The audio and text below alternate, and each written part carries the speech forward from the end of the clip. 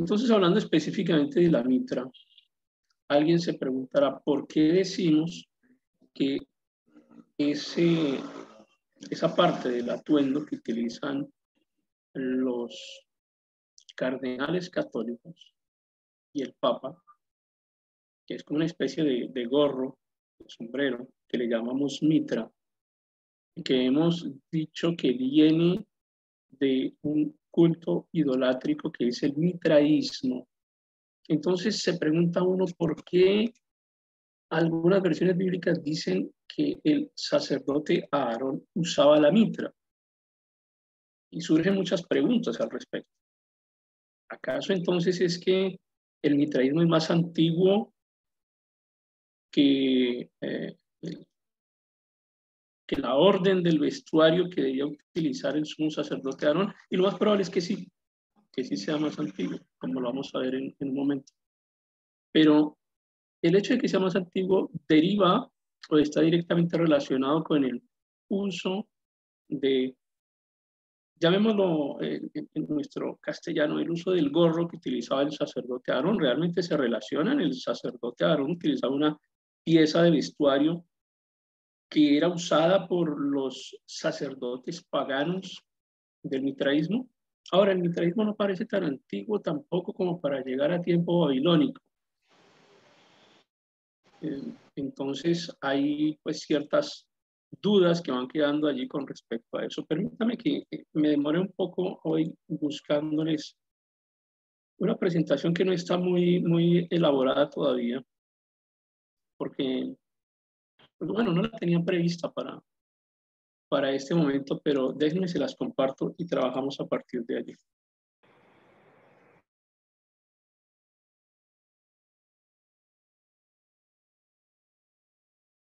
Entonces tenemos acá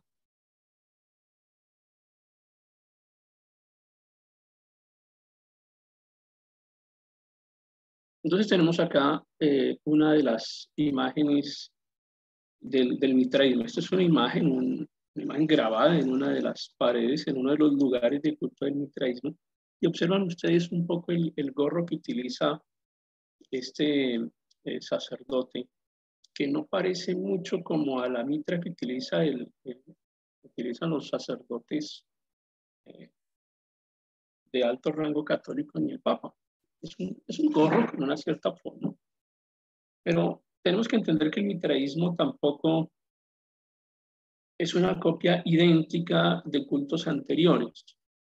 El mitraísmo es una amalgama de muchos conceptos, de muchas religiones, que con el paso del tiempo, con el paso de los siglos, termina desembocando allá en, en, Roma. Y recuerden ustedes que los principales seguidores del mitraísmo justamente eran los militares romanos, los soldados romanos, los cuadros de mando romanos eran, eh, practicaban el mitraísmo. Entre otras cosas porque el mitraísmo defendía al emperador, estamos en época de Constantino, ubiquémonos allí, y, y, el mitraísmo procuraba eh, la, la, defensa del emperador. Luego todo ello va desencadenando más adelante en, el uso de esos símbolos que hemos venido derivando y que llegan al catolicismo posteriormente, pero regresemos un poquito más. Vamos a, a mirar aquí en el tiempo esa siguiente imagen y vamos a mirar también este pasaje que nos expresa em, la Biblia en el primer libro de Samuel, capítulo 5 y los dos primeros versículos dice, los filisteos, los filisteos tomaron el arca de Dios y la llevaron de Benecer a Asdod. Entonces tomaron los filisteos el arca de Dios y la introdujeron en el templo de Dagón y la pusieron junto a Dagón. Esta es una imagen, una representación, un dibujo del dios, del dios Dagón al cual se refiere eh, ese pasaje de la escritura, con ya toda la historia que ustedes conocen que pasó con, con el arca cuando estaba allí en el templo de Dagón. Dagón tiene esa forma, una forma de pez. Y también es importante este concepto. La semejanza que hay entre el pez y posteriores cultos religiosos, incluso el, el que tiene que ver con, el catolicismo romano. Entonces, ya encontramos un primer grabado en donde este es el dios Dagón, que tiene un origen sumerio. Ahora miremos otras formas en las que se representaba Dagón y cómo se representaban o cómo veían a sus sacerdotes. No solamente estamos hablando de un dios eh, sumerio, sino que es un dios compartido por los fenicios, por los sirios, por los amorreos, por los filisteos. Y de Dagón dicen ellos que es el padre de los dioses, que es el creador de todo lo que existe, el creador del cielo, de la tierra. Además, le dan la categoría de juez. puede encontrarse también con el nombre de Anu. Anu.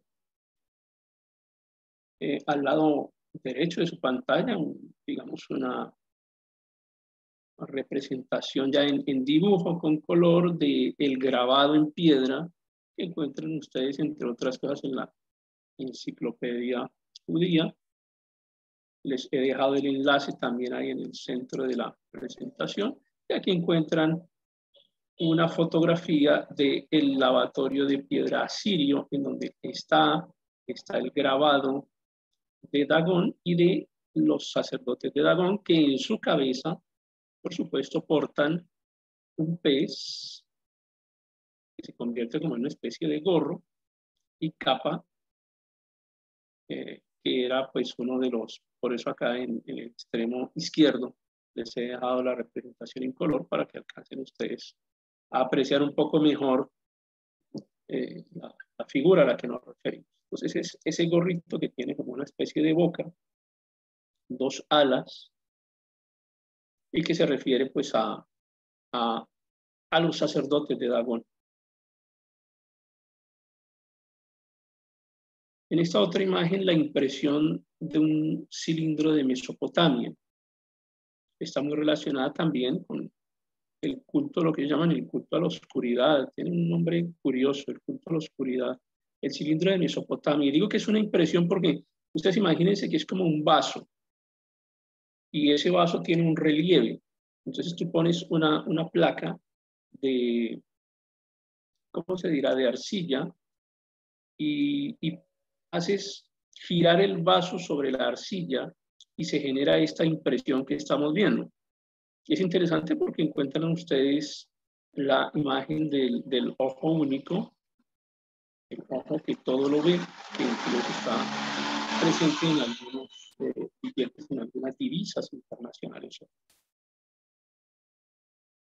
Lo traje como referencia porque es uno de los cilindros eh, mesopotámicos y aquí tenemos un cilindro asirio o la impresión de un cilindro asirio cilindros, insisto, se, se pasan sobre placa una base de arcilla y producen esta imagen. Esta imagen pues, es una representación ya en, dibujo, eh, en donde se aprecia a mm, Dagón y se aprecian otros símbolos que son muy, muy interesantes para tenerlos en cuenta y que han evolucionado hasta nuestra época. Nuevamente está el sacerdote con el pez puesto sobre su cabeza y la mitra está sobre su cabeza, que tiene forma de boca de pescado. Pero encuentran ustedes también en el centro otro símbolo interesante que utilizaban para la adoración de el, eh, del dios Dagon, que se parece mucho a un símbolo que hemos estado analizando durante las últimas clases, en donde tiene una especie de bastón y eh, estas, estos eh, signos, o más bien estas líneas que se entrecruzan de, superior a inferior y de izquierda a derecha, formando una especie de X, que posteriormente con el tiempo se simplifican y forman una sola X, ¿cierto? Y em, observen ustedes cómo hay una especie de corona que mira hacia los dos lados Y todo esto viene evolucionando, llegando hasta el símbolo del crismón romano. Y ahí vamos a encontrar un poco de, dónde proviene este símbolo. Por lo menos ya podemos hacer un rastreo del símbolo asirio. En la parte superior también encuentran la misma representación del gran ojo que todo lo ve y las alas que miran hacia izquierda y hacia derecha. La asimilación religiosa no se hace en poco tiempo. Esto es en siglos, en milenios, y tiene un proceso evolutivo que finalmente nos lleva a encontrar claras coincidencias entre la pieza de vestimenta que están utilizando los eh, sacerdotes asirios y la pieza de vestimenta que se utiliza hoy en día.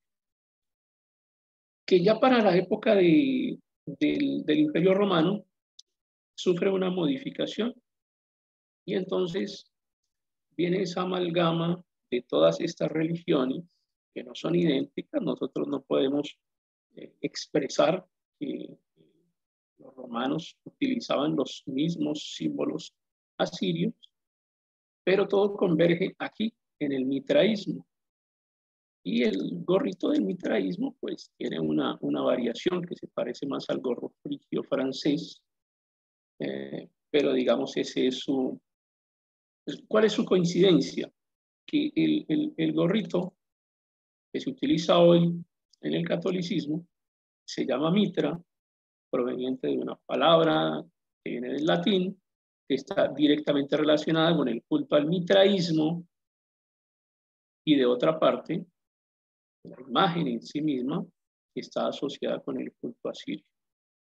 Entonces ahí vamos encontrando una primera representación.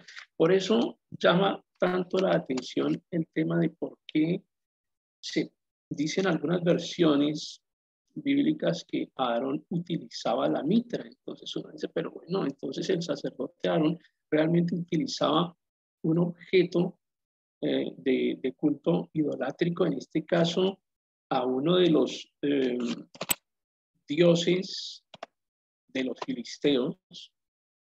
Y sorprende a uno un poco ese, ese concepto, ¿no? Las versiones bíblicas de Reina Valera específicamente, específicamente las de Reina Valera, usan la palabra mitra. De Reina Valera en español usan la palabra mitra. Ahí encontramos la Reina Valera 1865 utilizando la palabra mitra, la de 1909, la del 2000, la del 2004. La que me gusta a mí, la Reina Valera 60, utiliza la palabra mitra la versión moderna usa la palabra mitra, la Reina Valera antigua usa la palabra mitra. La única que no usa la palabra mitra de las versiones de Reina Valera es la 1989, que utiliza la palabra turbante. De resto, todas las Reina Valera usan la palabra mitra. Ahora, entendamos que la Reina Valera fue escrita eh, y revisada por dos monjes católicos, que de todas maneras, a pesar de que hicieron un, muy buen trabajo, un concepto, muy, un muy buen trabajo de traducción y de, y de llevar el, el, texto bíblico hasta el castellano, tal y como lo tenemos hoy en lo que conocimos inicialmente como la Biblia del oso, pues es un, es un buen trabajo, pero eso no implica que ellos dejaran de ser católicos y como católicos estaban usando una expresión que utilizaba su máximo líder, que es el Papa la expresión de uno de los, la palabra que usan para una de las, de las piezas de la indumentaria de su máximo líder, que es el Papa, que es la mitra. Y así lo tradujeron ellos.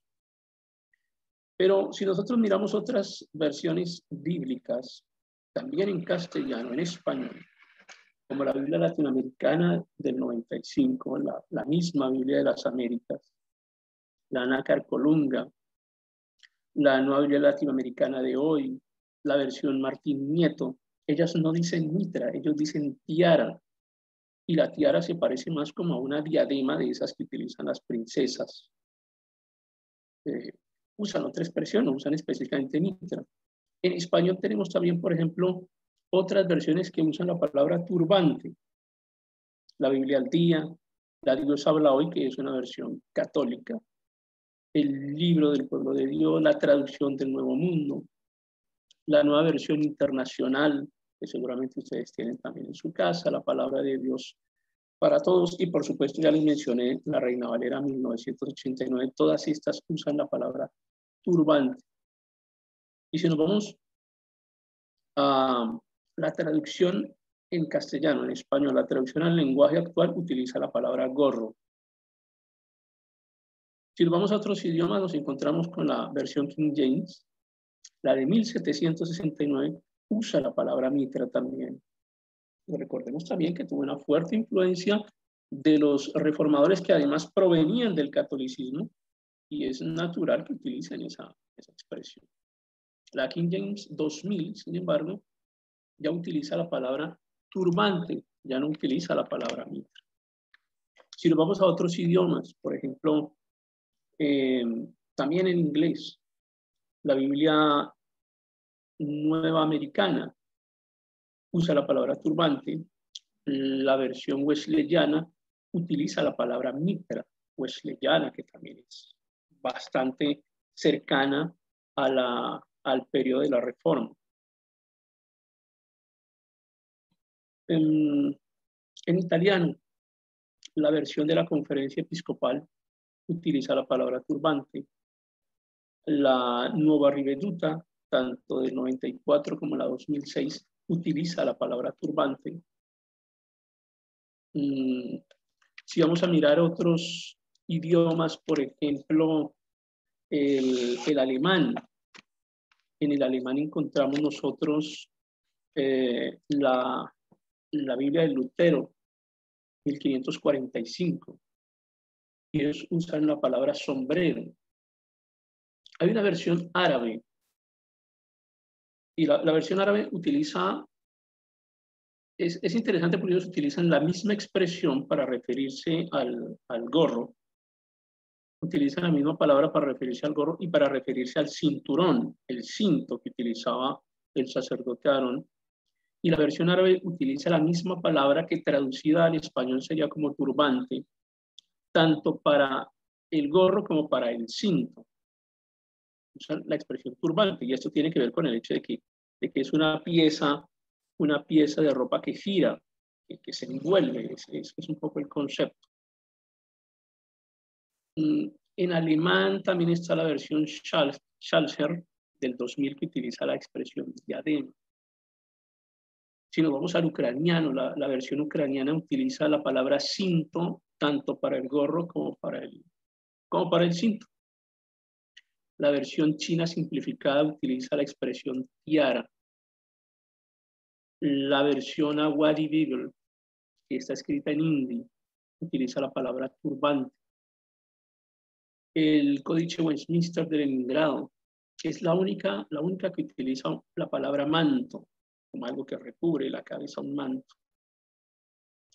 La vulgata latina, es claro, tenía que utilizar la palabra mitra, por supuesto, la vulgata latina, directamente relacionada con el catolicismo. Eh, en portugués, la versión o libro utiliza la palabra turbante. En la Torá se utiliza la expresión tiara. La, versión católica Septuaginta transliterada utiliza la expresión faja para referirse al, al cinturón del sacerdote. Entonces, como vemos, casi en ningún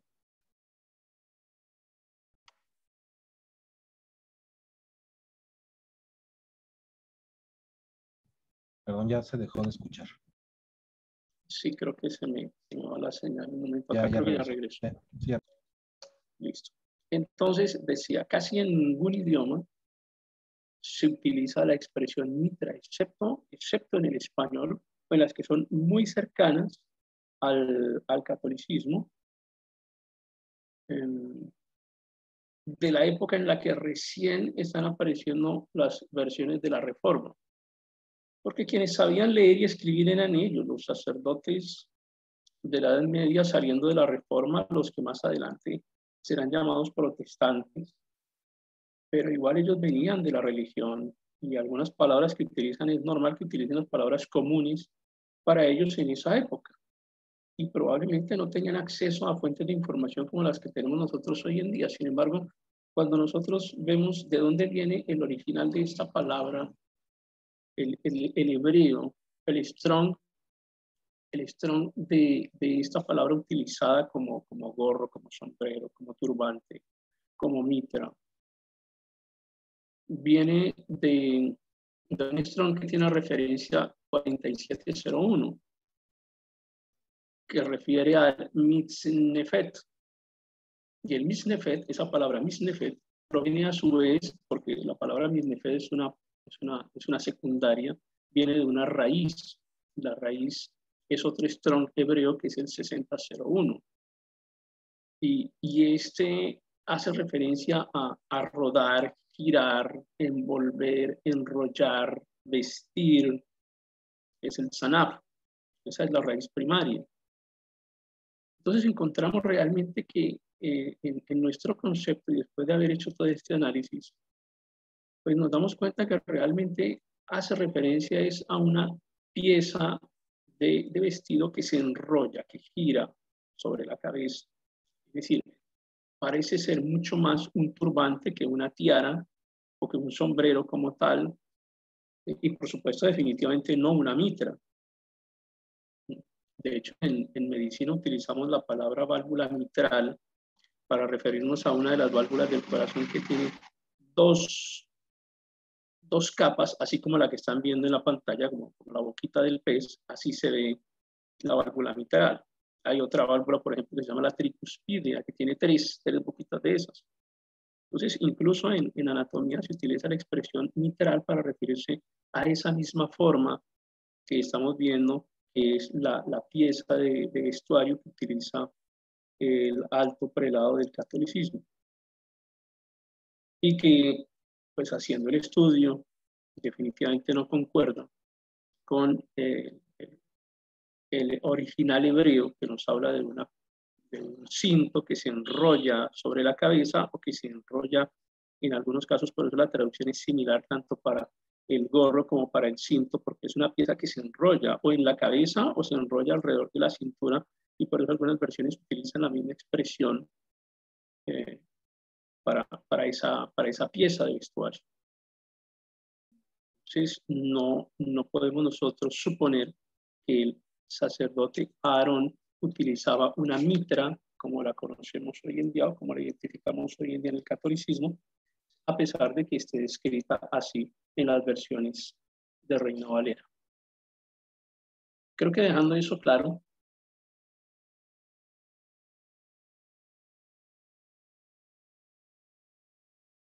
entonces pasamos al tema que nos corresponde. No sé si tienen alguna pregunta ahí, Roxana, ¿te quedó claro?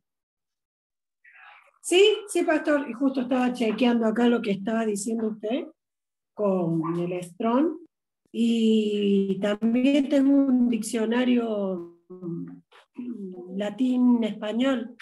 Y bueno, también dice Mitra, hace referencia a, a eso, a, turbante, a sombrero.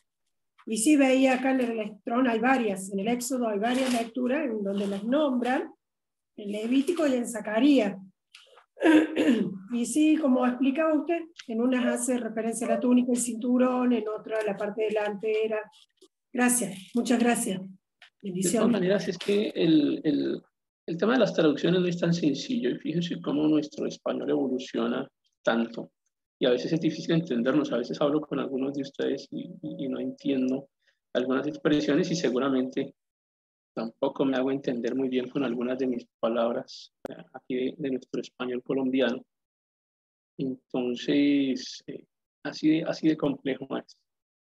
Y pienso yo que pretender juzgar una versión bíblica, cualquiera que sea, con el esfuerzo que han hecho los traductores, porque ojalá fuéramos nosotros capaces de traducir un capítulo de cualquier libro de la Biblia a un, a, una, a un idioma nuestro, autóctono en nuestros países, que seguramente hay muchos dialectos, con el esfuerzo que eso implica. para que nos pongamos a criticar una versión de la Biblia que es diabólica. He escuchado unas cosas absurdas a veces que se ven por la internet, criticando una versión porque, por ejemplo, utiliza esta palabra. Entonces alguien sale por ahí algún loco diciendo que es una versión eh, satánica porque utiliza la palabra mítica. Realmente el sacerdote Aaron no utilizaba la mitra católica, sino utilizaba un turbante.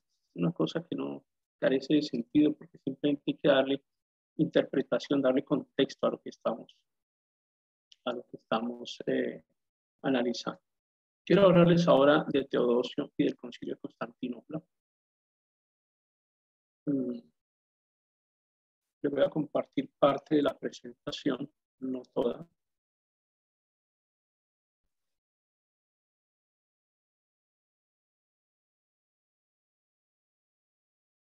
Y luego les, como siempre, se las, se las dejaré en su, en el, en el, ¿qué? En el, en el campus virtual. Vamos a ver. Entonces, quiero ahora vamos a, seguir hablando un poco acerca de los concilios.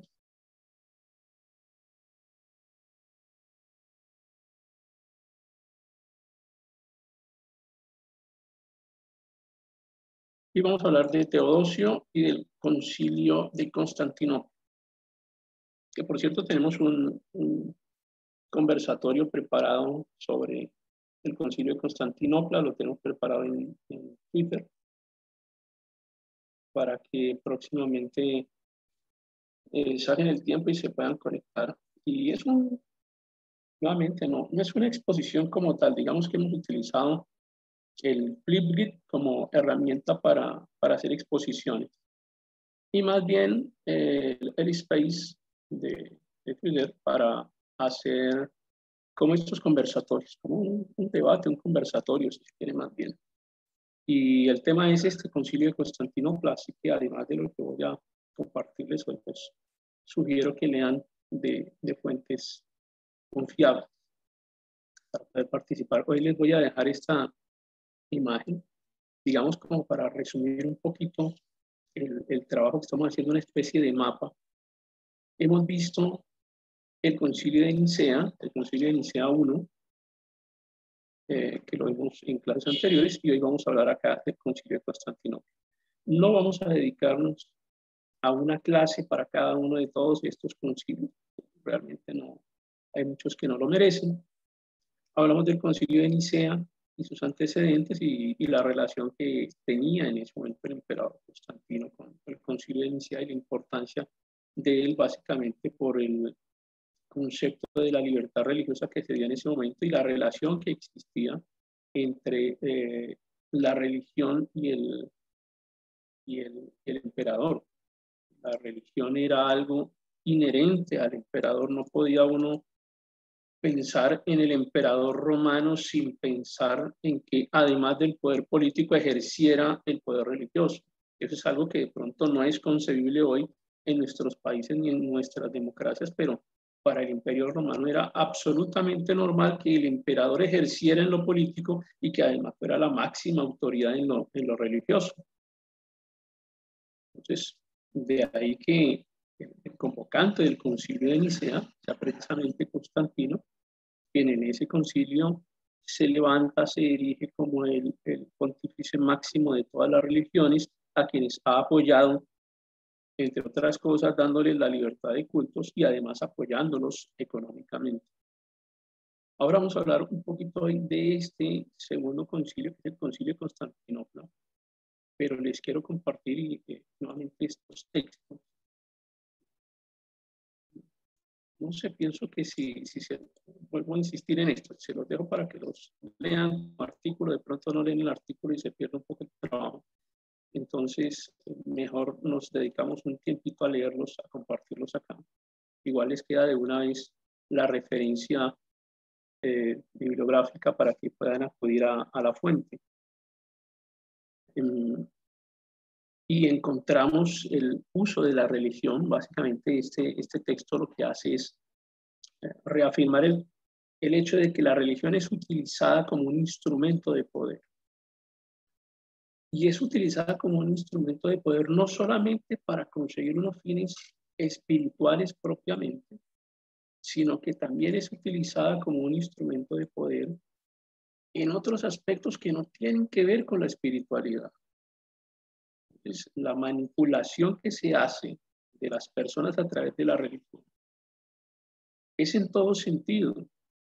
Por supuesto que el, temor a lo espiritual es, es fundamental. Amenazar a la gente con lo espiritual. Es un arma que se utiliza hoy incluso en muchas congregaciones de, de nuestros días. Como algunos sacerdotes de otras religiones o incluso algunos predicadores eh, cristianos, cristianos evangélicos más bien, utilizan su prerrogativa o su posición como líder religioso para manipular el pensamiento y los actos de algunas personas en su favor, en diferentes, en diferentes campos, para el abuso de, de ese poder religioso. Hemos visto eh, manipulaciones en, todas las áreas, en, todos los campos. Eh, religiosos que se aprovechan de esa posición, digamos, de, de poder, de autoridad. Entonces, nos narra el texto que básicamente la, el catolicismo triunfa allí desde el siglo IV porque se produce, digamos, ese ajuste, yo no diría tanto un cambio, pero sí un ajuste de toda su estructura de poder. Ya hemos visto cómo algunos religiosos, incluso en nuestra época, se suman a ciertos liderazgos políticos con el fin de mantener ciertas prerrogativas. Y habíamos mencionado en, alguna conversación que tuvimos cómo dentro de esos em, dentro de esos campos de influencia del poder terminan algunos cristianos de hoy en día y congregaciones cristianas completas de hoy en día apoyando a ciertos líderes religiosos que incluso practican ideologías políticas contrarias a los principios bíblicos. Y habíamos mencionado que creo que en todos nuestros países existen de ese tipo de liderazgos eh, cristianos que apoyan gobiernos o ideologías contrarias a esos principios bíblicos. Luego, en época de Constantino, no era diferente y en la época del Imperio Romano no era diferente. Vuelvo a insistir, creer que los cristianos del siglo IV se comportaban como se comportaron los apóstoles. No, no, o sea, no, no tiene ninguna coincidencia. Una cosa eran los apóstoles y otra cosa eran todos los cristianos de ahí en adelante hasta nuestra época cada uno con su forma de, entender, de comprender. Algunos llegan un poco más em, maduros dentro de su concepto espiritual a una congregación y otros apenas están comenzando y sus preguntas son diferentes y su forma de comportamiento es diferente.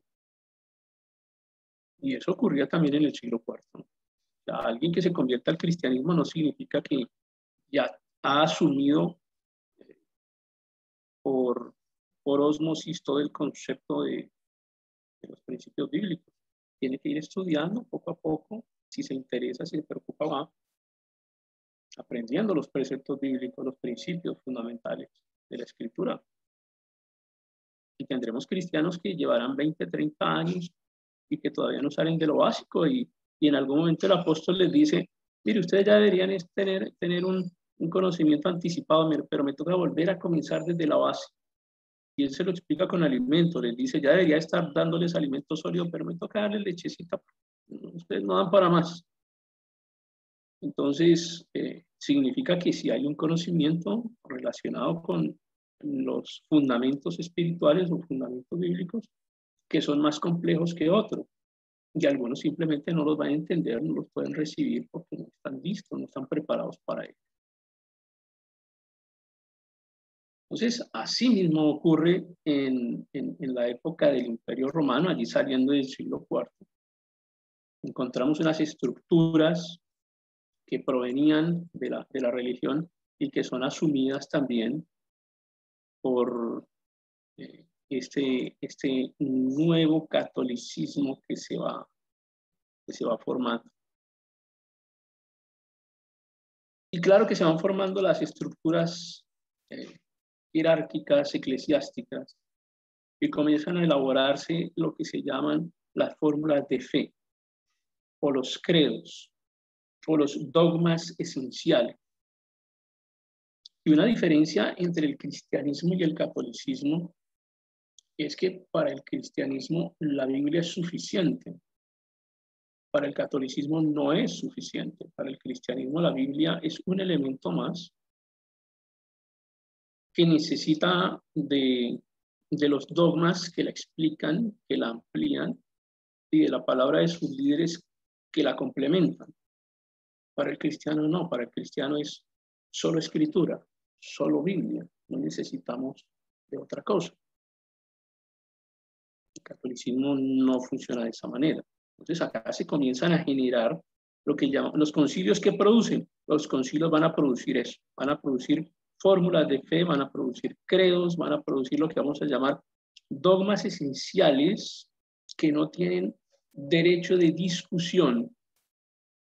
Los dogmas esenciales del catolicismo son tan fundamentales como la Biblia misma. No hay opción de ser discutidos en ningún momento.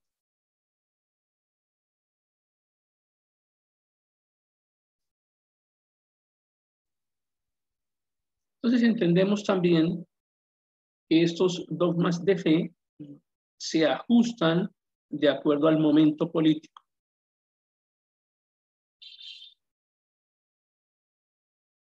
Y dice acá, la persecución sufrida por los fieles más puros, refiriéndose al cristiano bíblico, eh, sino que aquella fuera dirigida por obispos carentes de convicciones religiosas que entendían su función como un servicio al Estado y que por ello asumían sin reparo el credo seguido por cada emperador. En no pocos casos, ciertamente el espectáculo debió ser desmoralizador para un cristiano convencido, pues muchos obispos católicos apostatan en tiempos de Constancio, vuelven a la ortodoxia nicena con Joviano, apostatan nuevamente bajo Valente, otra vez regresan al catolicismo con Teodosio, es decir, que en apenas 20 años entre los concilios de Rimini Seleucia y la entronización de Teodosio, una multitud de obispos cambió cuatro o cinco veces de credo religioso. Es decir, estamos diciendo que los conceptos fundamentales del catolicismo giraban en torno al interés del emperador o al interés del más adelante del soberano religioso que estuviese eh, encargado del poder máximo de la religión. A diferencia de lo que ocurre con el cristiano y la Biblia. Para el cristiano la Biblia es su única norma fundamental, es su constitución. Y no cambia, no tiene por qué modificarse por el interés político, ni se modifica porque a alguien no le gustó un versículo, entonces no vamos a modificar la Biblia porque a un gobierno no le gustó, porque a un dirigente religioso no le gustó. Y la Biblia hace un sello ahí al respecto y, y dice el que le cambie algo a este texto, pues lleva condenación porque el texto como viene no puede ser modificado, a diferencia de cómo lo hacía la religión en aquella época. Nos encontramos que todos estos dogmas religiosos estaban relacionados con los dogmas de los cuales se alimentaba el imperio romano, como era la relación con el Sol Invictus y esa fusión que ocurre entre el mitraísmo y el famoso Sol Invictus, que era la religión de Estado. Nosotros entendemos también que eh, ya cuando llegamos a la época de Teodosio, de Teodosio I, a quien apodaban Teodosio el Grande, él tenía una gran cantidad de enemigos políticos. Los principales enemigos políticos de Teodosio eran los pueblos godos y los reyes godos, que estaban muy extendidos y llegaban hasta ahí, hasta muy cerca de Roma, llegaban hasta el río Danubio. Hay un personaje que mencionamos en clase anterior que se llama Ocio. Ocio fue uno de los em, asesores religiosos de Constantino.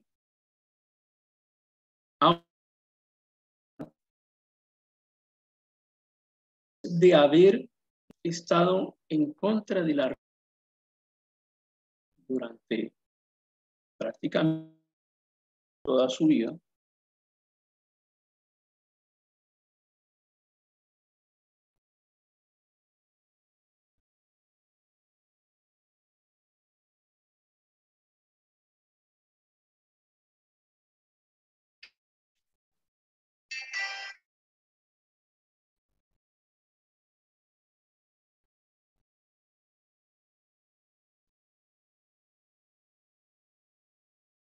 Bueno, creo que se me bajó un poco la, barra de señal, está en mínimo.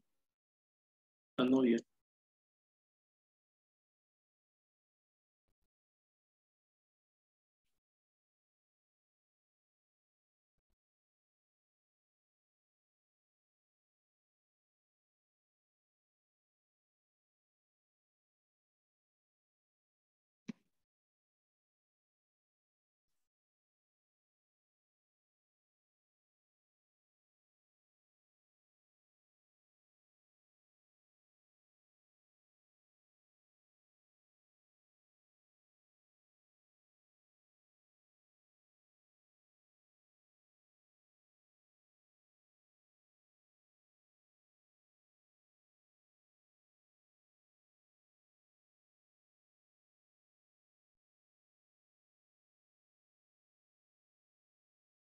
Me queda una barrita, entonces me toca esperar un poco para que no para poder seguir conversando. Entonces les decía, hay, hay un personaje que se llama Ocio, que fue uno de los, de los grandes promotores de la persecución a lo que conocimos como el arrianismo. Y del arrianismo se pueden decir muchas cosas, pero yo creo que finalmente no se puede concluir demasiado las fuentes que tenemos para condenar al arrianismo son justamente los concilios eh, ecuménicos eh, romanos, así que no, no tenemos mucha más fuente. Tal parece, como decíamos en algún momento, que había una diferencia conceptual sobre el origen de Cristo, porque eh, algunos decían que Cristo existió desde el comienzo. Desde el comienzo existía junto con el Padre. Eh, y es un concepto que está enmarcado allí en, Génesis cuando se habla del verbo y la existencia del verbo. Pero el arrianismo, al parecer, explicaba que si es hijo, no pudo estar con el Padre, sino que era mm, creación del Padre es un poco como intentar comprender la, la, la majestuosidad de Dios y su, su, su eh, composición a partir de la limitación de la mente humana. Es, es, demasiado limitada nuestra mente para entender realmente algunos conceptos propios de, de Dios y justamente el Génesis, por eso tiene tantas complicaciones en algunos momentos para poder comprenderlo. Pero a, Ocio al fin se le termina criticando porque terminó em, apoyando el credo arriano. Hay un, encuentro que se hace en un lugar que se llama Sirmio, en el 357. Y, y había defendido Ocio la ortodoxia nicena. Sin embargo, termina como del, lado de los arrianos. Entonces, ya Ocio y esa, esa vertiente de, de, lo que podemos llamar el catolicismo o, o el arrianismo, ahora reforzado con Ocio, termina siendo un enemigo del, del imperio.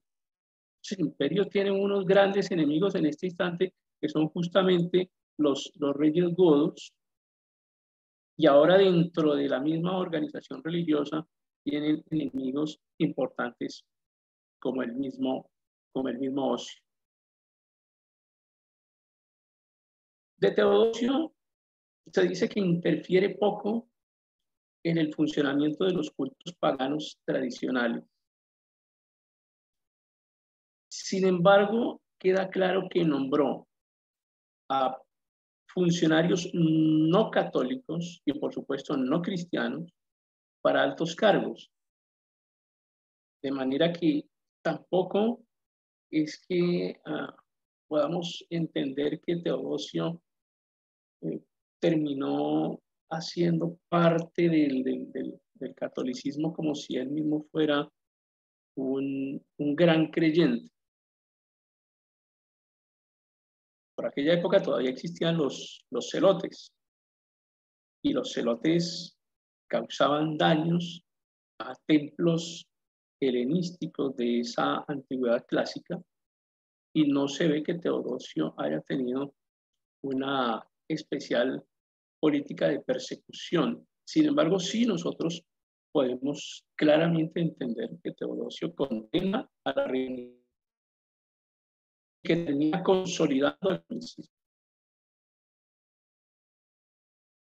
Otra pregunta que tenían es, una cosa es el surgimiento del Estado pontificio como tal. El Estado pontificio que surge cuando por medio de la donación de Constantino se entregan territorios a la organización romana. ahí surge el Estado pontificio. Una cosa es el Estado pontificio y otra cosa es el surgimiento del catolicismo como tal. Entonces, el catolicismo religioso como, es, como, como ideología filosófica y religiosa surge con Constantino en el concilio de Nicea, en donde él se establece, así duela mucho a los católicos, se establece como pontífice máximo y como primer papa. Históricamente está demostrado. Pero otra cosa diferente es el concepto de Estado Vaticano o de Estado Pontificio, que ya tiene que ver con la agrupación de ciudades, de tierras, de propiedades, en donde se organiza como un, Estado, como un paraestado, y que más adelante eh, termina convertido en lo que hoy conocemos como el Estado papal o el Estado vaticano. Son dos cosas diferentes. Estamos acá en este momento histórico en donde con Teodosio se viene a consolidar al catolicismo y por supuesto que allí se consolida alrededor de algo que vamos a llamar también como culto teodosiano. El culto teodosiano está directamente eh, asociado al hecho de que Teodosio también ejercía como, como máximo representante de las religiones. De hecho, Teodosio, igual que vimos en, en, otra clase anterior, hace traer un obelisco egipcio, el obelisco del, el, el obelisco del faraón Tutmosis III. Él lo hace trasladar y lo establece en el hipódromo de Constantinopla, no en Roma, este es en Constantinopla. Y ese obelisco hace parte de un hipódromo que se llama así el hipódromo de Constantinopla. De hecho, en la base del obelisco se encuentra la representación de Teodosio entregando laurel de victoria a los vencedores dentro de los juegos que se hacían allí en, este, en este hipódromo. Y hoy en día existe todavía el obelisco de Teodosio, una de las, bueno, no, está tal, tal cual eh, se presentaba en su, en su momento porque traslado se rompió, una, una parte quedó un poco más pequeño, un poco más corto, pero allí está y de todas maneras es imponente. Entonces, digamos que se forma religiosamente una doble clasificación de, una, una, clasificación de grupos religiosos como en los nicenos y los no nicenos, para no decir católicos, sino católicos. Porque todavía no estaba como tan purificado el concepto. Entonces, los nicenos, todos los que apoyaban los preceptos que habían sido generados o producidos allá desde el concilio de Nicea, desde el concilio de Nicea 1. Entonces se forman como esos dos grandes grupos, los nicenos y los no nicenos. Los no nicenos, es evidente asumir que dentro de los no nicenos estaban los cristianos, porque los cristianos no podían aprobar los cánones del concilio de Nicea. Y es apenas lógico entender que dentro de los no nicenos estaban, estaban los cristianos, cristianos bíblicos como tal. Pero también podemos entender en este punto que los nicenos pues tenían, digamos, más, más poder político. Y los no nicenos se convierten en opositores de Teodosio y son declarados herejes. O sea, es en este punto de la historia, aquí en este punto, cuando el cristianismo es declarado herejía, el cristianismo y digamos todas sus denominaciones. Porque como veremos más adelante, en aquella época también existían denominaciones de grupos cristianos. Así como hoy en día existen denominaciones, no digamos ni siquiera a nivel mundial, hay en su país, en su ciudad, si se quiere hay denominaciones de grupos cristianos, todos son cristianos, pero tienen diferentes denominaciones. Es de entender que en esta época también existían denominaciones cristianas y todas ellas eran no nicenas. Y todo lo que era no niceno se convirtió en ese momento en herejía. Entonces, los opositores de Teodosio eran los no nicenos y todos esos no nicenos son declarados herejes. Y Teodosio comienza a expulsar a los representantes de los grupos no nicenos, entre ellos a un personaje que al parecer pertenecía al cristianismo, que se, llama, se llamaba Demófilo de Constantinopla. No puedo confirmar que era un personaje cristiano, pero parece que lo era y en su reemplazo nombra a Melesio, que era patriarca de Antioquía, y nombra también a Gregorio, que también era eh, participante del, más bien, apoyaban al, al culto niceno. De ahí en adelante comenzamos a entender también que esa tradición persiste con el paso de los siglos y todo lo que no es compatible con Nicea, con el culto de Nicea, es herejía. Es decir, para los hijos del concilio de Nicea, todo lo que no esté con ellos es enemigo y por ser enemigo religioso es, es herejía. Por supuesto que el cristianismo entró allí y también muchísimas otras de las religiones que se habían apartado, a pesar de que el concilio de Nicea es un concilio ecuménico, pero así como no todos los cristianos participaban del concilio de Nicea, es probable que algunos cristianos sí, que algunos cristianos hayan apoyado a, a Constantino, así como hoy en día hay cristianos que apoyan a políticos que van en contra de los preceptos bíblicos, pues también es entendible que otras religiones, algunos eh, integrantes de otras religiones, no todos hayan apoyado a, Constantino, que algunos de pronto se hayan separado de esto. Lo cierto es que se describen que existen diferentes grupos religiosos no nicenos y todos ellos son declarados como herejes. Y a partir de ahí, por supuesto, el catolicismo ya toma eso como punto de referencia para referirse a todo lo que no es católico, es decir, a todo lo que no tiene origen niceno como herejía. Finalmente, hacia febrero del año 380, tanto Teodosio como Graciano y como Valentiniano II publican lo que se llama el Edicto de Fe Nicea. Ese edicto de fe tenía que ser aplicado y cumplido para todos los habitantes del imperio y el objetivo era obligarlos a profesar la religión de lo que ellos llaman en ese instante los obispos de Roma y Alejandría.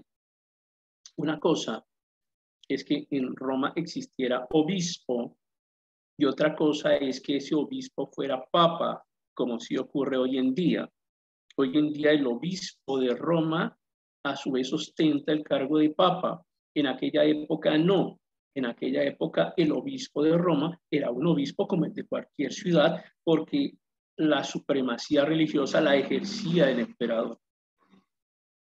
Pero este, este edicto, el edicto de Fenicea, hace o pretende que todos los habitantes del imperio profesen la religión de lo que llamaron la religión de los obispos de Roma y Alejandría, es decir, el catolicismo como tal. Es que no hay un punto en la historia, uno no puede decir, a partir de hoy, a las 5 de la mañana, esto se llama catolicismo, o sea, no, no es como, como, como tan así, como, como tan preciso. Es un proceso de construcción histórica, es un proceso de, evolución mediante el cual se van acuñando conceptos. Por ahora ya está consolidado el concepto de lo que son los nicenos y los no nicenos, eso ya va quedando muy claro. Y es a partir de aquí del 380, con este nuevo edicto, en donde se declara que la religión que profesan los obispos de Roma y de Alejandría debe convertirse en el culto religioso de todo el imperio, todavía sin utilizar específicamente la expresión catolicismo, pero sabemos que se refiere al catolicismo como tal. Ya es el catolicismo como tal, porque era la religión que profesaban los obispos de Roma y Alejandría.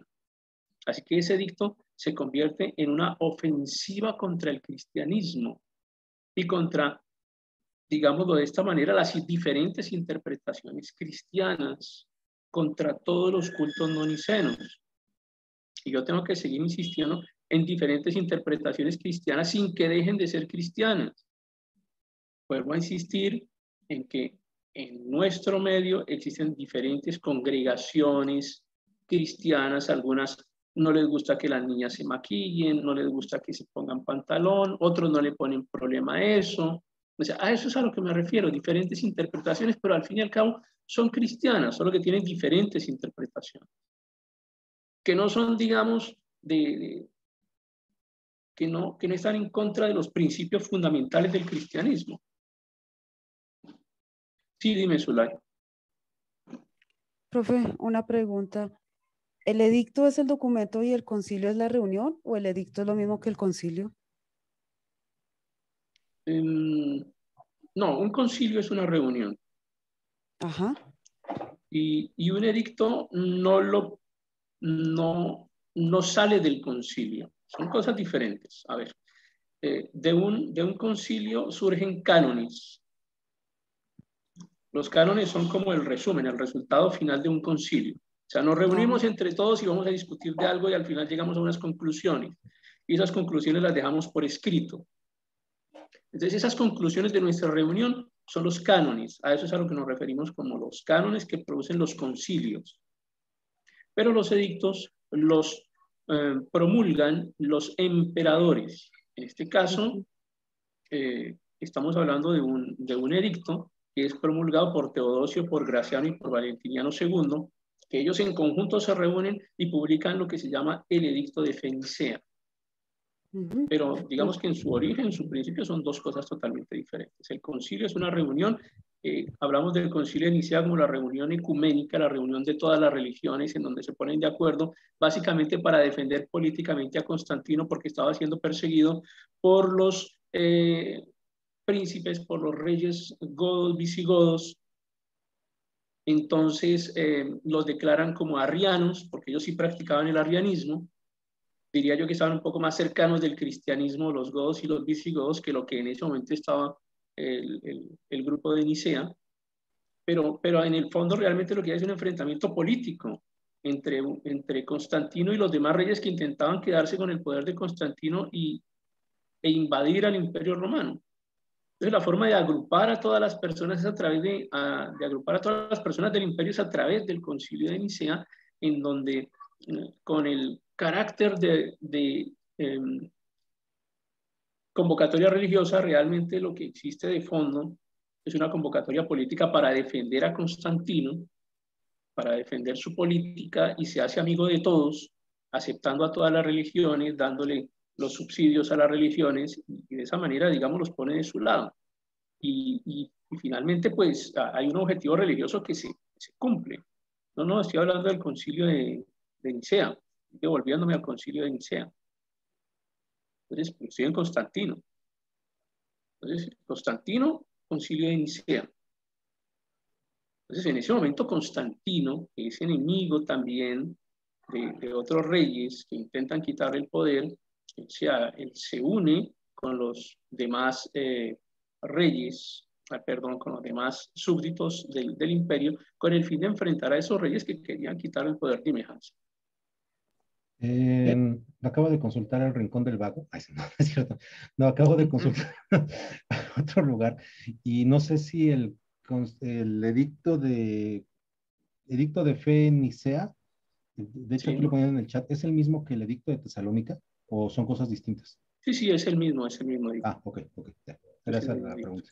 Okay. Entonces, eh, claro, lo que pasa es que, ¿en qué consiste el, edicto de Tesalónica? Consiste en, el edicto que respalda, que renueva, que reconfirma lo que se habló en, en Nicea.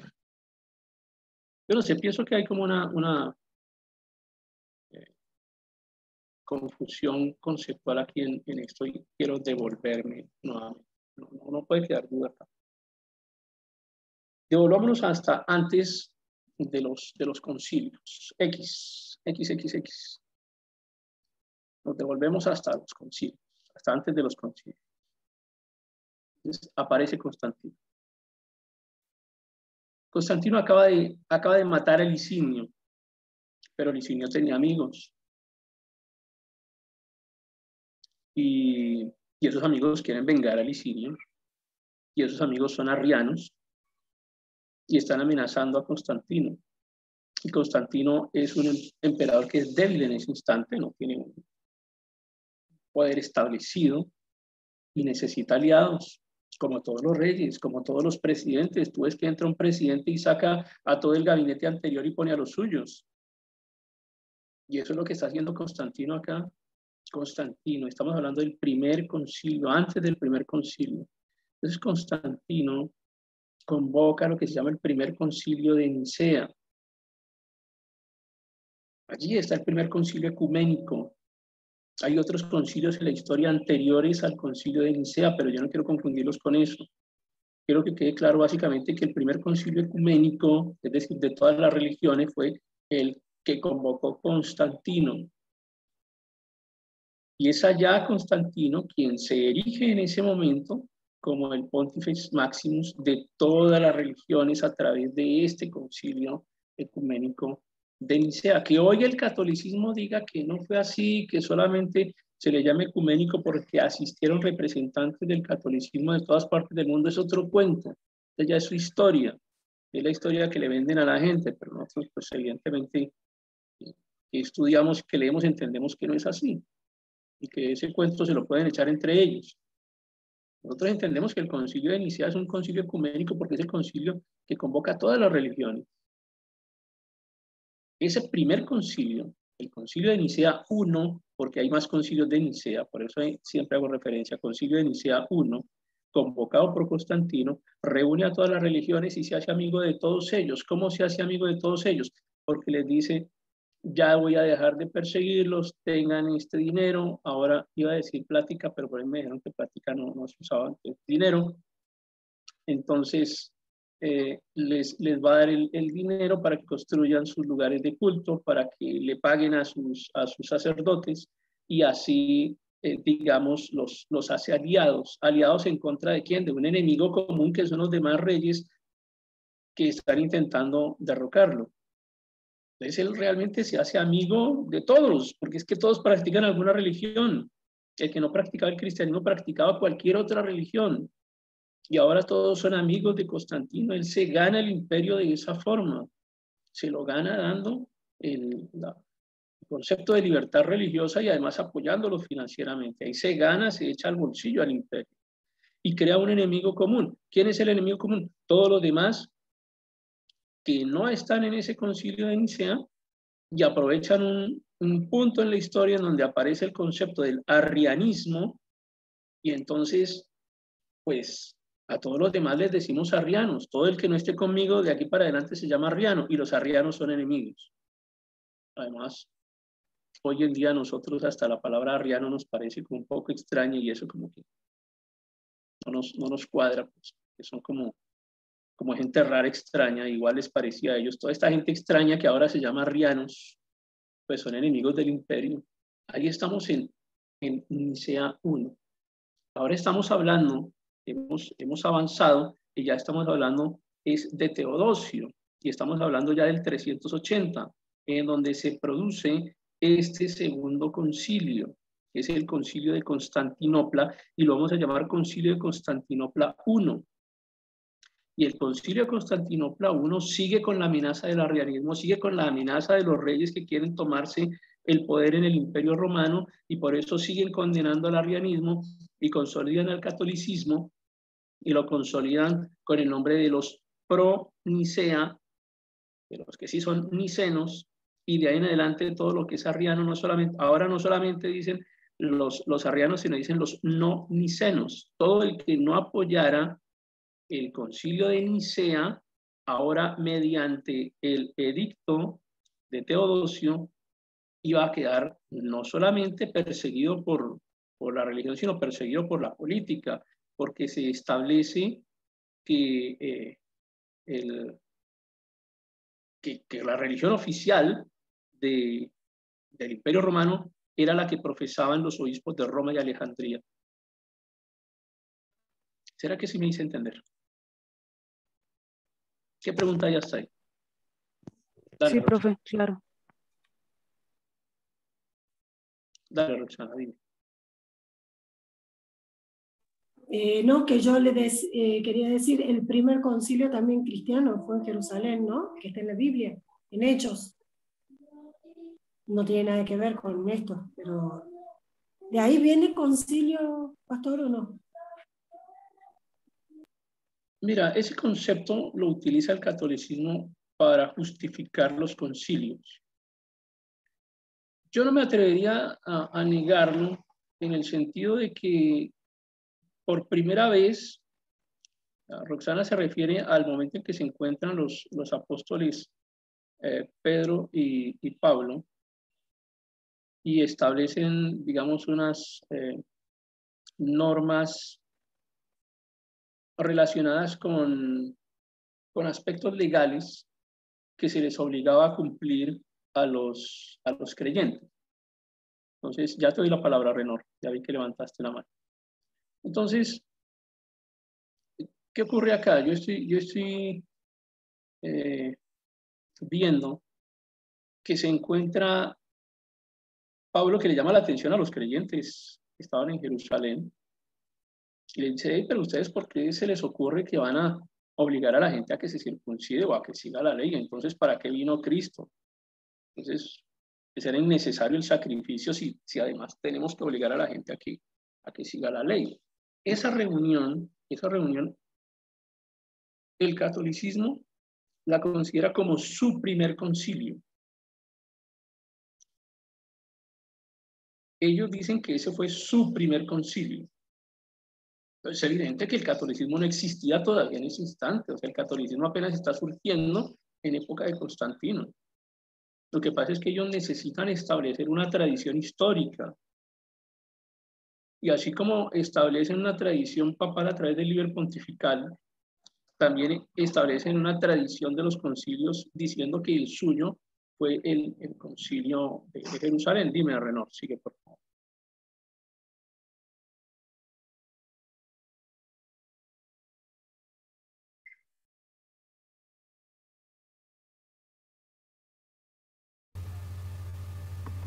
Buenas noches, doctor.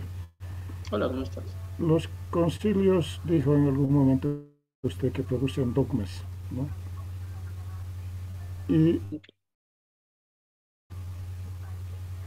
yo creo que hay un parecido también en los reformadores después de la reforma que han producido catecismos como el de Heidelberg, etcétera, donde también han establecido ciertos eh, parámetros, podríamos decir, lo que se llama las declaraciones de fe, en los cuales se basan, por decir, los, eh, algunos protestantes. ¿no? ¿Hay alguna similitud en esto? ¿Lo ve usted que existe alguna similitud? ¿O han eh, copiado algo así los, los protestantes después de la reforma? Para, Sí, entiendo la pregunta, Renor. Y es bien interesante por esto. Nosotros eh, estudiamos la historia con la mayor objetividad posible porque es historia, no es, no es dogma. Lo que estamos estudiando es historia. Y cuando lleguemos a los reformadores, veremos, veremos cómo algunos de ellos fueron realmente salvajes en su forma de actuar. Hubo algunos reformadores que masacraron ciudades enteras porque no seguían sus principios. Y estamos hablando de reformadores que uno puede decir que son cristianos como tal, por lo menos por lo que enseñaban y por lo que profesaban. Y algunos fueron realmente sanguinarios. Y algunos otros, por supuesto, que seguían una línea bíblica mucho más, mucho más, más precisa. Y todo esto entra a un nivel de discusión que luego en su momento entraremos a, a determinar. Pero sí, en diferentes momentos los cristianos bíblicos se reúnen también y generan unas líneas directivas. Si usted pertenece, por ejemplo, ustedes, cualquiera, pertenece a alguna congregación que a su vez corresponda o pertenezca a algún concilio, miren la palabra que estamos usando, concilio, es probable que alguna de sus iglesias pertenezca a algún concilio, a una reunión, a una agrupación. A veces se reúnen y hablan de la gran reunión de nuestro concilio y la reunión nacional de nuestro concilio y establecen una línea de trabajo, establecen líneas de conducta. Eso sucede hoy en día. Por supuesto que en la época de la reforma ocurrió también, o sea, si ocurre hoy en día, claro que también, pero ocurre a todo nivel, no solamente a nivel de las estructuras religiosas, sino que fíjense que ocurre también en, en en una junta directiva de, de una empresa multinacional y se reúnen los directivos y establecen unas líneas de conducta como resultado de esas, de esas reuniones, se llamarán directrices institucionales o directrices empresariales o lo que quieran. Es, es el resultado de una reunión. Acá en los concilios había unos resultados también, unos resultados de unas reuniones. De las reuniones se llamaban concilios y como resultado de esos concilios se producían unos dogmas o unos cánones y ya tenemos claro que para el catolicismo fue fundamental el concilio de Nicea porque estableció unos cánones básicos que luego serían más adelante añadidos, modificados eh, o confirmados de acuerdo al, al, momento histórico en donde se encontraba. Entonces, hasta ahora solo hemos visto dos concilios. El concilio de Nicea, que tiene que ver con Constantino, y este concilio de Constantinopla, que, de Constantinopla que tiene que ver con Teodosio primero Teodosio el Grande, en donde lo que tiene que quedar claro acá es que en este concilio se establece el edicto de fe nicea, o también, bueno, como resultado de él, se establece el edicto de fe nicea, Bueno, es que esto es como que fue primero, los huevos o la gallina. Entonces, eh, todo esto va de la mano. El, el, concilio, el concilio de Constantinopla y el edicto de Fenicea, estas cosas van de la mano porque el objetivo era obligar a todas las personas que estaban en el imperio a profesar la religión de los obispos de Roma y Alejandría y en el fondo es simplemente la imposición política de una religión de Estado y es cuando el catolicismo se convierte en religión de Estado en el Imperio Romano.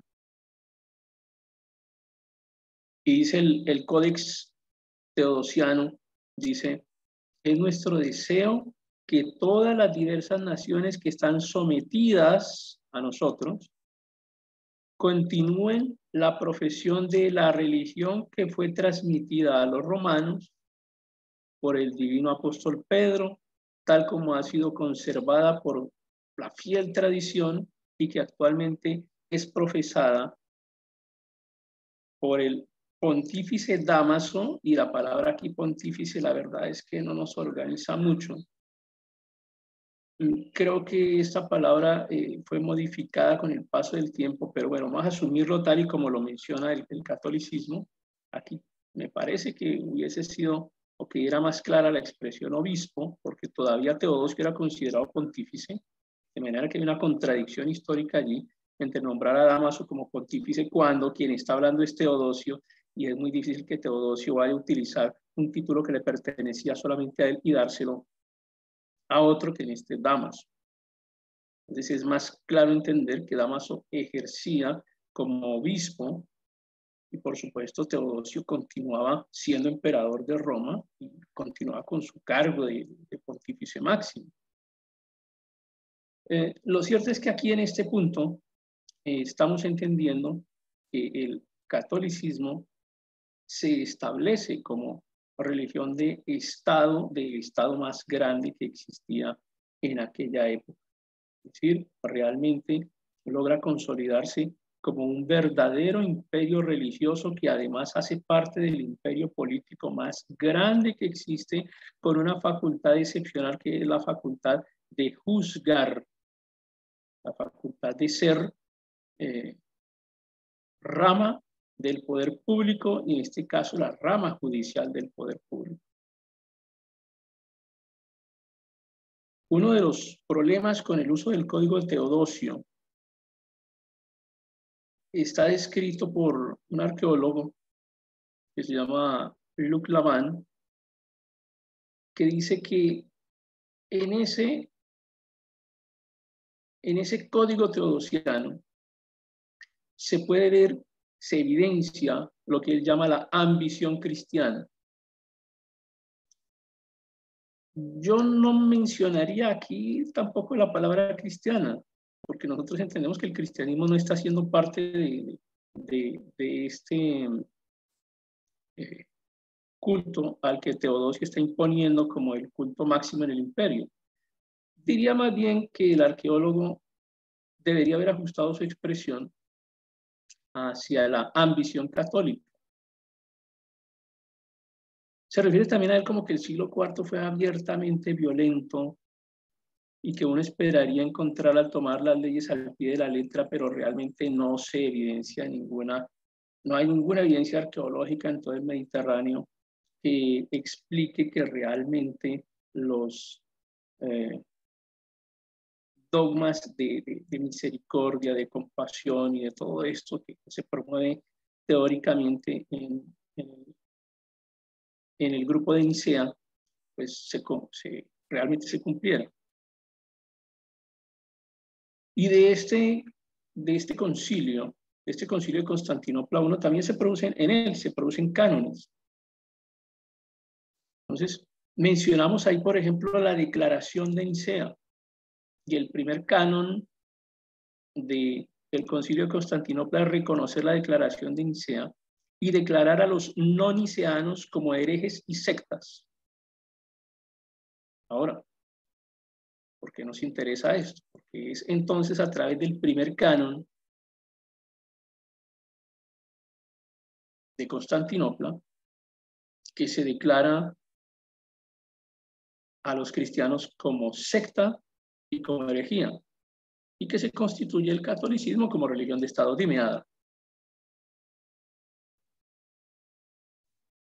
Sí, bueno, en algunos concilios hoy en día se usa una constitución casi como la de un país y también un manual de operaciones. Em, en la constitución pues están como, está el reglamento, cómo debe de comportarse cada iglesia, la vestimenta, muchas cosas. En el manual, en el manual de operaciones está la manera como se van a administrar los servicios, pues cada iglesia cómo va a administrar sus servicios, como pues primero la ofrenda, después la predicación o la alabanza. Entonces, no sé si esté relacionado también. Sí, digamos que es un poco la, aquí ayudando a responder la, la pregunta de Renor sobre si han trascendido esas, esa forma de organización, pero decíamos no solamente en lo religioso, sino también en lo administrativo, en, en lo público y en las organizaciones privadas. O sea, tenemos una reunión, eh, vamos a ponernos de acuerdo en algo y lo dejamos por escrito. Lo que pasa es que en los concilios religiosos, los concilios de iglesias hoy en día, pues ocurre lo que está nombrando Ada eh, claramente. De pronto tienen trascendencia para ellos específicamente, para el concilio religioso específico, que, en el que ustedes puedan tener su congregación, si es que su congregación pertenece a algún concilio. Y no estamos diciendo que esas, eh, directrices sean equivocadas. No, no, no creo que sean equivocadas. Simplemente son conclusiones que se sacan como directivas de cómo va a funcionar nuestra, nuestra, nuestra misión, nuestra, nuestro grupo de iglesias va a funcionar de esta forma y crear una línea, una línea de trabajo. Pues me parece que no, no, no está equivocado en el sentido de que de que es bueno que nos pongamos de acuerdo sobre, sobre cosas fundamentales, de, cómo vamos a trabajar. Y no necesariamente tiene que ser negativo, se necesita un orden, una organización, y cada grupo de iglesias que hoy en día se llaman concilios, pues establecen su forma de organización. Ahora, la palabra concilio sí deriva desde allí. Concilio es una reunión, una reunión grande. El concilio de, Nicea fue la primera reunión grande ecuménica de todas las religiones, insisto que estaba allí con Constantino. Ahora tenemos esta segunda, este segundo concilio que es el de Tesalónica, en donde reconocemos específicamente a Teodosio, a Teodosio, a Teodosio I, a Teodosio el Grande. Entonces se establecen unos, eh, se crea, se crean unos cánones que son las conclusiones finales, ok, y asambleas también.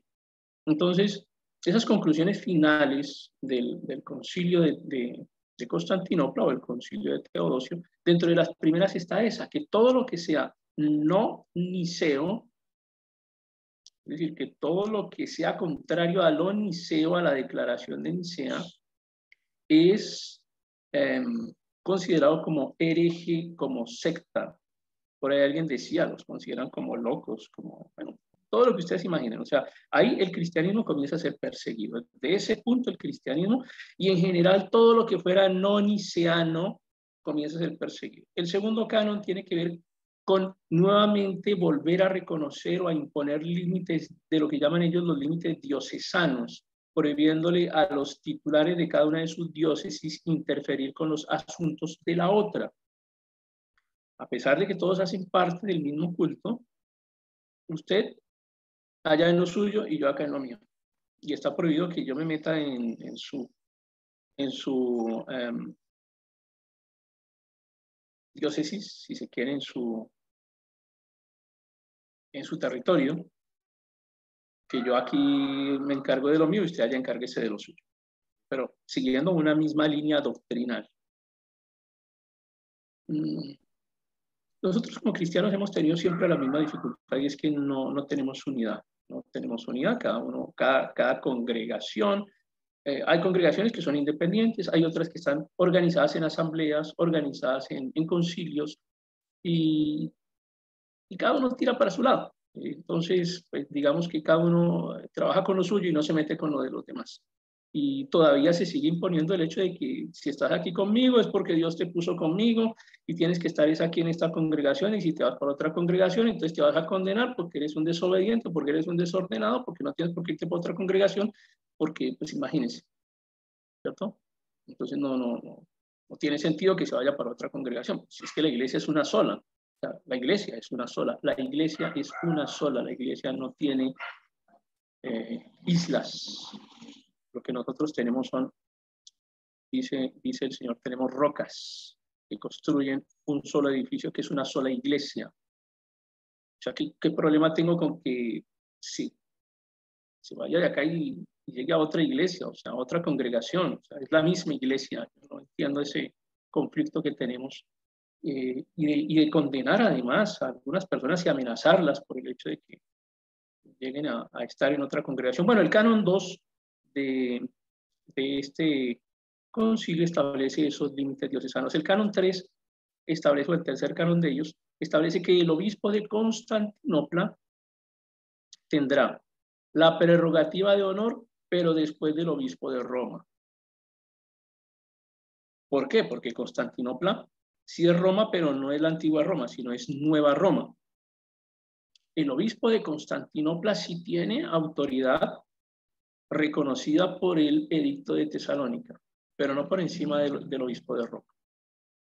Entonces ahí se establece que quien está primero, por encima de todos, es el obispo de Roma. Y esto viene acá desde el 380 con Teodosio y este, y este concilio.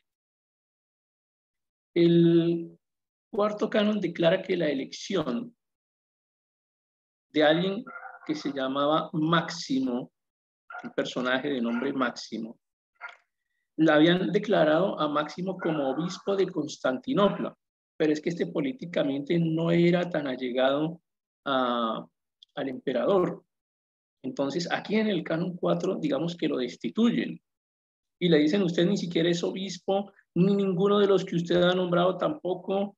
Entonces, eh, Imagínense establecer un canon solamente para destituir a alguien, eh, pero también contra todos los líderes egipcios que consagraron a Máximo como eh, líder de Constantinopla.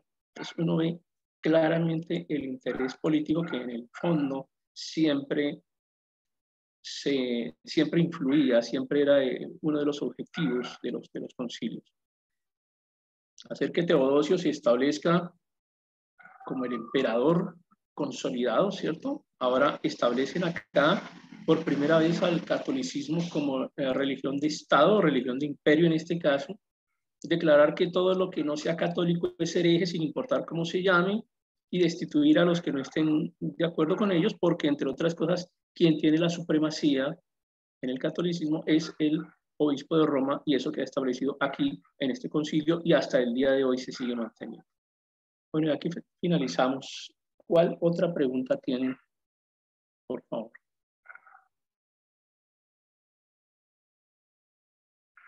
Si se les ocurren preguntas, entonces las, las pasan por el, por el grupo y ahí seguimos conversando.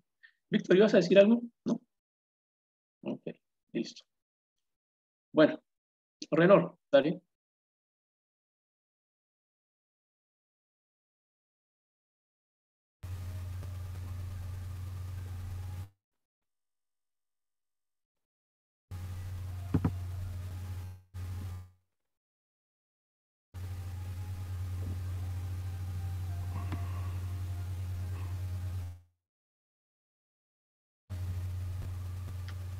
¿No ibas a hablar? Disculpe la tardanza, mi, mi ah, no, dale, todo está lenta. Sí, sí. Este, solamente, no, no una pregunta, sí, el, el primer concilio cristiano, cristiano fue pues con los apóstoles, el, el concilio de Jerusalén, ¿no? ¿O estoy equivocado, pastor? Sí. Eh...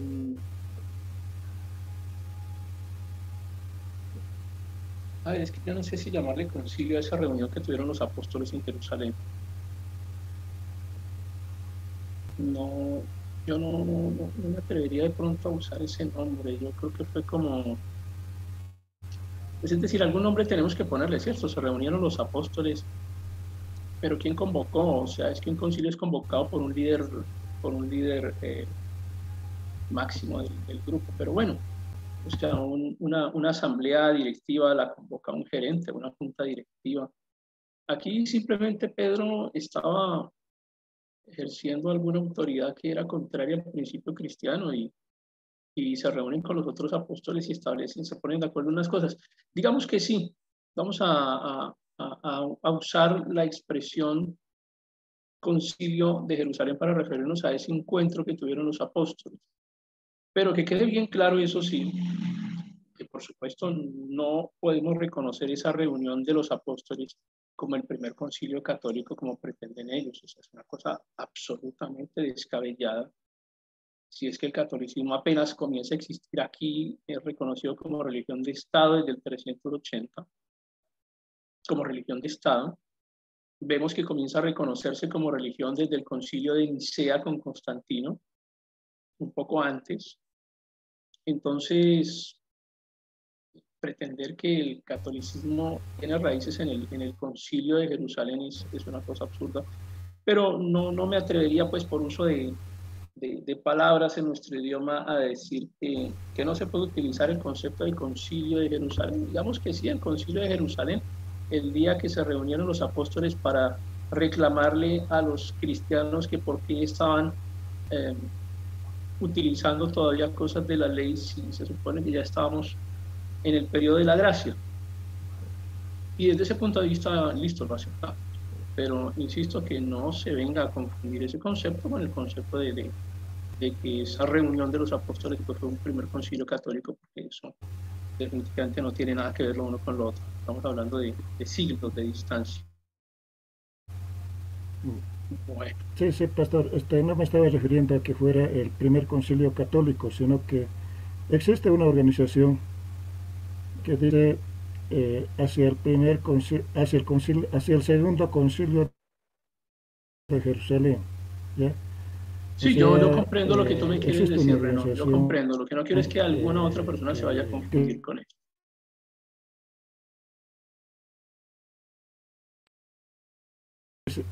Que se el segundo concilio de Jerusalén. Sí, señor, sí, sí, es entendido. Listo. Eh, aceptamos lo que Renor menciona en ese sentido.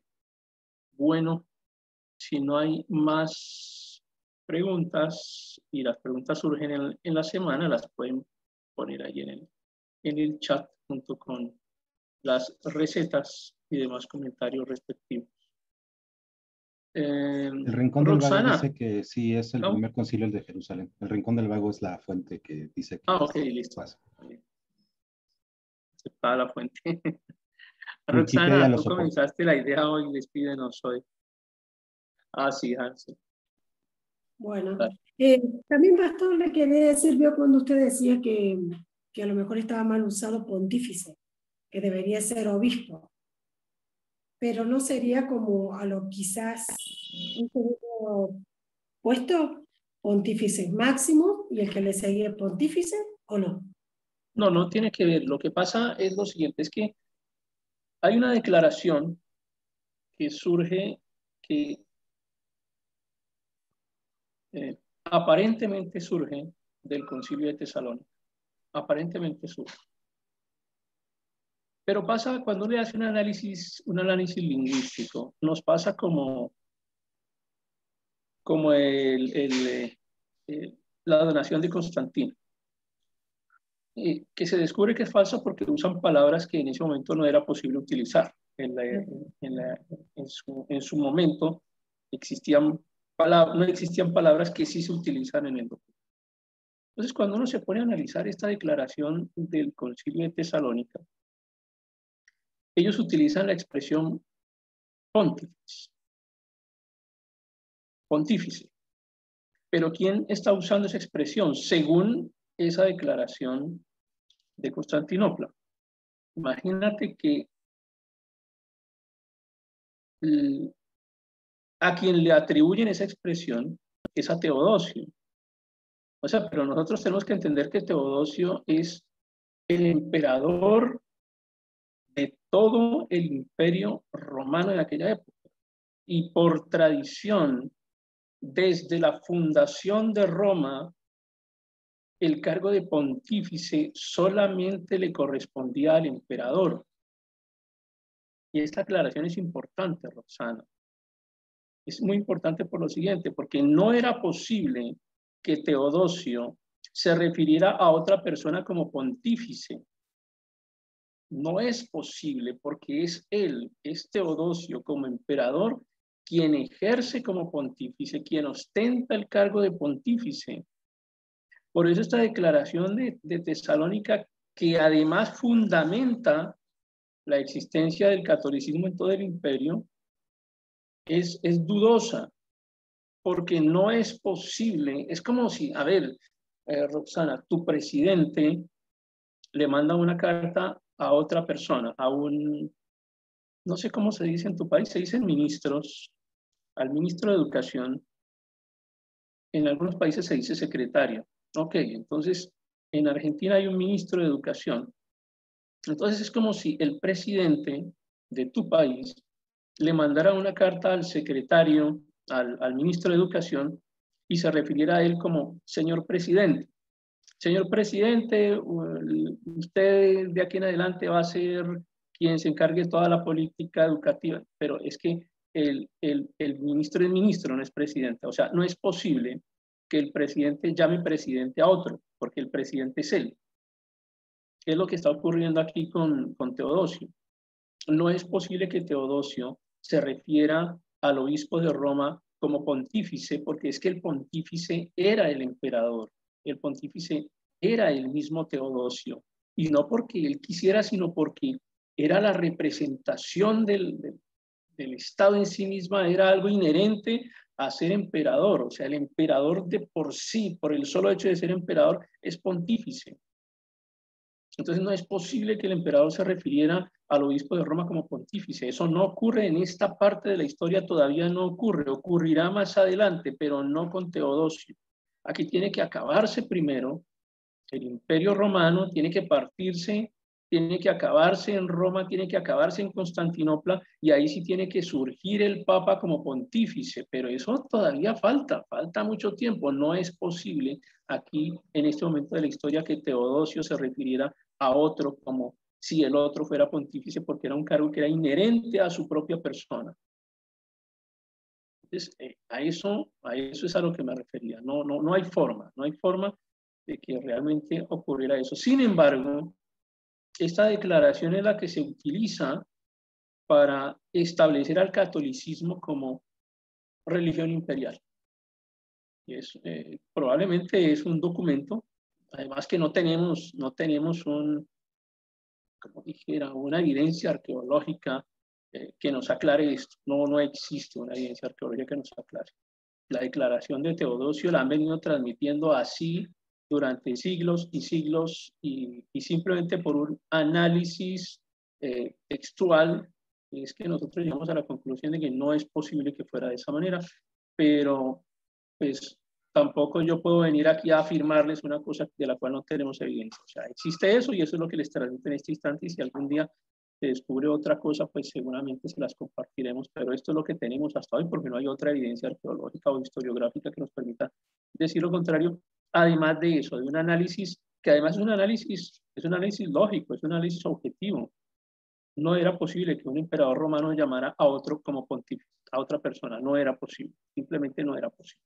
Sin embargo, a partir de esa declaración, imagínense ustedes, vuelvo al ejemplo, tu presidente le dice al, al, ministro de Educación, le dice, señor presidente, ¿quién tiene más autoridad en ese instante?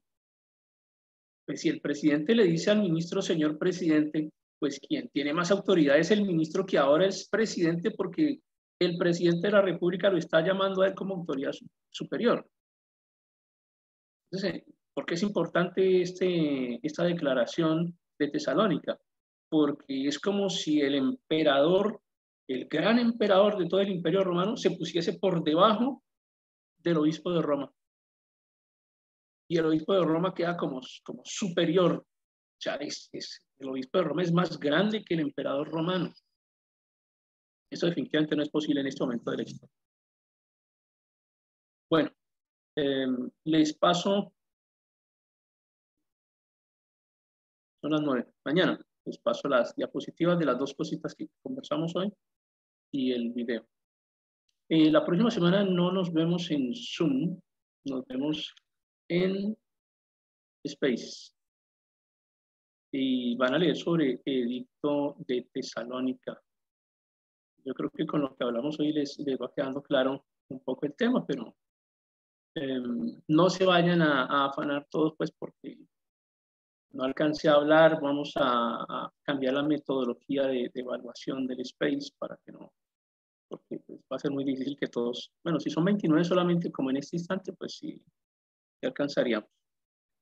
Eh, bueno, depende, vamos a ver. Eh, Roxana, despídanos, por favor. Gracias por, gracias por todo, porque estuvieron hoy ustedes. Yo no sé, esta metodología como que me gustó, porque no ponemos tantas diapositivas y será por lo que nos estamos viendo que, que preguntan más. Entonces me llamó la atención. Roxana, sigue, por favor, despídanos. Oramos. Bendito Padre amado, te damos gracias, Señor, Gracias, Padre Eterno, por este precioso momento, Señor, que hemos compartido, Señor, donde aprendemos, Señor, aquellas cosas que no nos han convenido, Señor, en otros tiempos, Señor, y de los cuales nosotros lo hemos profesado, Señor, eh, no habiendo sido bien inteligentes, Señor, habiendo escapado a tu palabra, Señor, y siguiendo doctrinas de hombre. Te pedimos perdón, Señor, y gracias, Señor, por haber obrado nuestras vidas, Señor, por habernos revelado tu Hijo, nuestro Señor Jesucristo, por habernos revelado tu palabra, Señor, como la única verdad. Padre amado, gracias por todo este tiempo, por todas estas enseñanzas, Señor, que nos han abierto el entendimiento, Señor, nos han hecho ver el error por el cual anduvimos, por ignorancia, Señor, por desconocimiento, Señor, pero también por pereza y vagancia, Señor, por por aceptar lo que dicen los hombres, Señor, y no escudriñar, no buscar y no investigar, Señor. Padre, gracias. Gracias por tu Espíritu Santo, Señor, que es el que nos redarguye, Señor, que es el que nos convence de pecado, Señor, que es el que nos lleva al arrepentimiento, Señor. Y hoy genuinamente podemos decirte gracias, Señor. Gracias por habernos sacado, Señor, por haber roto ese velo, corrido ese velo, Señor, que nos cegaba, Señor. Gracias, Padre amado. Te adoramos y te bendecimos, Señor. Síguenos abriendo el entendimiento, dándonos la sabiduría, Señor. Y a este varón de Dios, Señor, a este varón tuyo, Señor, el profesor Ricardo, Señor, síguele dando más de ti, Señor. Más conocimiento, Señor, más sabiduría de lo alto, Señor, más inteligencia, bendito Dios. Porque todo lo que Él recibe de gracia, Señor, nos lo da a nosotros, Señor. Bendice su vida, bendice su familia, sus hijas, Señor. Provéele, Señor, de todas aquellas necesidades que Él tiene, Señor, tanto, Señor, espirituales como también material. Así a cada uno de mis hermanos que está aquí presente, Señor. Padre amado, te agradecemos, Señor, porque te tenemos a ti, Señor, porque no estamos solos. Gracias, Señor, por el sacrificio que hiciste en la cruz por cada uno de nosotros, Señor, porque tú ya pagaste todo el precio, Señor. Gracias porque este tiempo, Señor, ya lo tenías predestinado para nuestras vidas. Te agradecemos, Señor. Te pedimos, Padre, que seamos buenos comunicadores de tu palabra, Señor, pero también que seamos hacedores, bendito Dios. Ayúdanos, Espíritu Santo, a hacer la voluntad del Padre. Bendice, Señor. Bendice esta noche, Señor, en que nuestros cuerpos van a reposar, Señor. Danos un buen descanso físico, Señor. Y ayúdanos, Señor, mañana cuando nos levantemos, Señor, a estar siempre en tu presencia, Señor. Ayúdanos, Señor, en todo momento. Dejamos nuestras vidas, Señor, nuestras familias, Señor, nuestros tiempos, nuestros trabajos, Señor, y también esta clase, Señor, en tus manos. Padre, gracias. Gracias por todo lo que tú nos das. Bendice a mis hermanos, Señor, en el nombre bendito de Jesús. Amén y amén. Gracias. Bendiciones. Bendiciones, pastor. Buenas, noches. Gracias, chao. Bueno, feliz noche. Que descanses todos. Chao, chao. Bendiciones.